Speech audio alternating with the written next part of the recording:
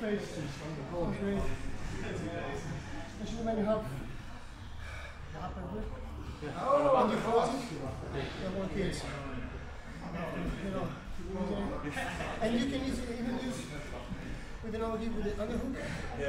Because you have good posture. And you're left-handed, so it's very annoying for the opponent. Because think about only 10% of are left-handed in judo and wrestling. So you might you have to focus on this wide stance here. Wide Trying to link them up, one, two.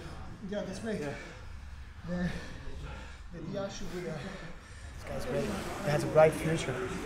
And you you can feel it from his grips that is natural judo player, actually, definitely. And he's, he has a bright future. and He has good drive. And, uh, wish him nothing but the best.